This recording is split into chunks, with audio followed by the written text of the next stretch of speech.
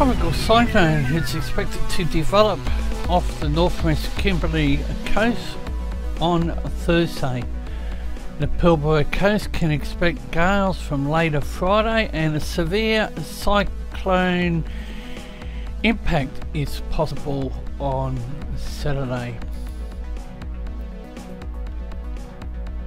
A cyclone watch has been declared for Wallal to Onslow, including Port Hedland, Karratha, Dampier and Onslow. The tropical low sustained winds in the centre of 35 kilometres per hour with wind gusts to 85 kilometres an hour, located within 45 kilometres at 16.5 degrees south 122.2 degrees east. It's about 100 kilometres north northwest of Derby and 190 kilometres north northeast of Broome. The current movement is west at 14 kilometres an hour. Those forecast to move to the west off the northwest Kimberley coast tonight and develop into a tropical cyclone on Thursday. During Friday, the cyclone is forecast to turn towards the Pilbara coast and intensify before reaching the coast on Saturday. Gales are forecast to develop along the Pilbara coast between Wallal Downs and Dampier, including Port Hedland during Friday, possibly extending west to Onslow overnight Friday. Destructive winds with wind gusts to 150 kilometres an hour may develop overnight Friday night.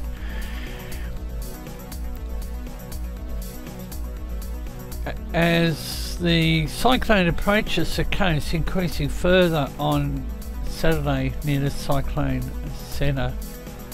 Abnormally high tides could cause serious flooding at the coast between Dampier and Wallal on Saturday Heavy rain is likely to cause flooding also in the Pilbara region as the cyclone moves inland over the weekend. Bureau Meteorology's Tropical Cyclone Warning Centre has in place a flood watch. Well, here's a look at the GFS accumulated precipitation. It's from uh, 10am uh, today through to about 2200 hours tomorrow. Information's at the bottom of the screen. Each of these images are three hourly blocks and it also has the pressure in the white lettering inside the black box. Joint Typhoon Warning Centre has issued a tropical cyclone formation alert. They have the tropical low or Invest 92S about 100 nautical miles north northeast of Broome. Animated enhanced infrared satellite imagery and a 91 gigahertz microwave image shows banding wrapping into a defined low level circulation centre currently placed over land with flaring convection. The continuing improving structure evident in the animated imagery reflects steady consolidation as the invest has begun to track over water. A ASCAT pass showed winds 25 to 30 knots wrapping towards the low level circulation centre from off the northern coast of Australia. 92S is expected to rapidly develop as it continues to track generally westward through a region of very warm 30 to 32 Celsius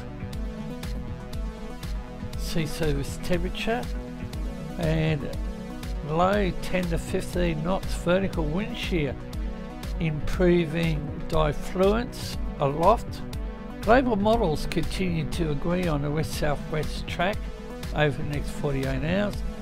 Maximum sustained uh, surface winds are estimated at 25 to 30 knots. Minimum sea level pressure is estimated to be around 1004 millibars and the centre has the potential for development of a significant tropical cyclone within the next 24 hours as being high. The 850 millibar vorticity, the vorticity is strengthening and here's a couple of uh, models on the tropical low and once it reaches cyclone status it will have the name of a Damien. We will continue to bring the uh, latest uh, information and here on the east coast of Australia the Bureau of Meteorology has a reduced flood watch for the area south of Caboolture, north of Brisbane, to the New South Wales Queensland border. New South Wales Bureau Meteorology Office has issued a flood watch also.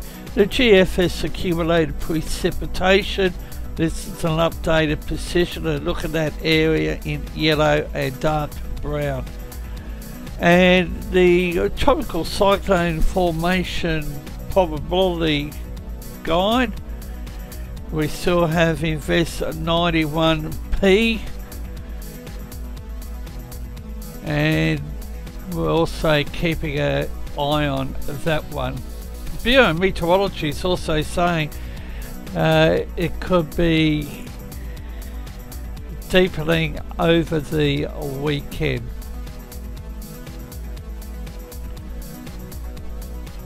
And here's another look at the Bureau's total forecast of rain. And the rainfall scale scales the right hand side of the screen. And again, look at that area south of Fraser right down to Newcastle. And it is tracking south.